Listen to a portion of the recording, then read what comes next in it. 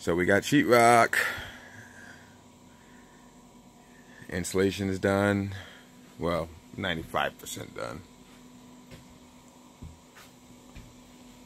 Uh, start sheetrocking. Uh, well, started now, but hopefully uh, tomorrow I'll be able to get the entire lower level done and some of the other level so I can get my lights and things in place. It's a good insulation. It's actually a sound barrier as well. So that's good.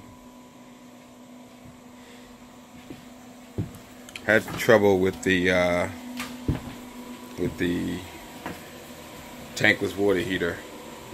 You know, after running lines for it and getting it all ready and having the setup in my plumbing set up for it, it didn't work out the way I needed it to. So, had to go to plan B, start cutting out a whole lot of pipe, reorienting, reorienting it, sorry. And now, setting up to use this 20 gallon electric electric hot water heater.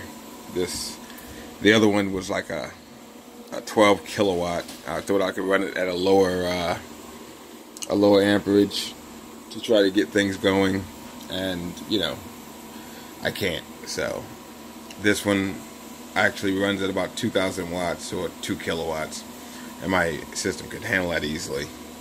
It's not the instant hot water that I wanted, where you end up with unlimited supplies, but with 20 gallons and replenishing as necessary, I think it should probably be okay. I built a little shelf for it. It's got some storage underneath for batteries and all that. I'm going to extend it over to this side possibly so I can do inverter mounting on the shelving, get everything off the floor except the batteries.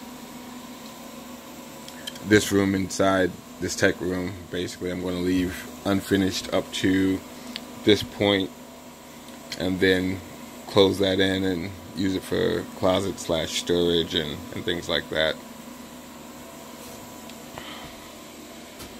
Uh, let's see. I put a uh, whole home water filter system in. Uh, it's in the process now. After I did all the cutouts, I'm now putting together the piping that's necessary. The problem is that when I get or engineer this set up, my source line is here coming from outside from the well. Comes up through here. Now have it going into the filter back out. So that gives us clean water but not a feed for the new hot water heater. Because initially it would come here and then up into the tankless hot water heater you know or at least a tap from from here would come up into the tankless hot water heater back down as hot and it would feed this line which is the hot water system. That's what you see there, the the half inch line that you see at the bottom. This is a three quarter, this is a half inch. The top is cold, the bottom is hot. So now that the tank is not living here anymore and it's actually living way over here, I had to set up something that after I come through the filter, I have to now get it to come, well, obviously the cold side of it. I need a tap from here to come in into here 90 degree it and then into well I, the first one's going to come in the bottom into the cold input down there and then the hot output that's coming out of the tank has a elbow back in come back through back down and then join up right here to now provide the hot water for the system so I, you know, I'm in the process of doing that. I'll probably end up doing it all tonight. Get that taken care of. My little project here. Uh, the shower setup's going to be over there, as you can see. That's all configured and ready to go.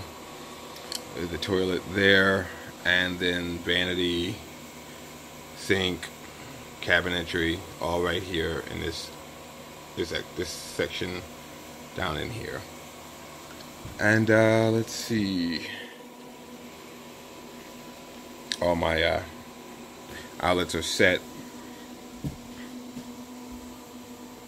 I'm going to run a, additional lighting in one one or both of these channels. Probably just stagger them one, two, and three, so that they'll work. They'll operate on a different switch, maybe over here, so that imagine if there's a sectional couch here, you can turn off the regular lights and just have access to just like almost ambient lighting on the uh, sitting area.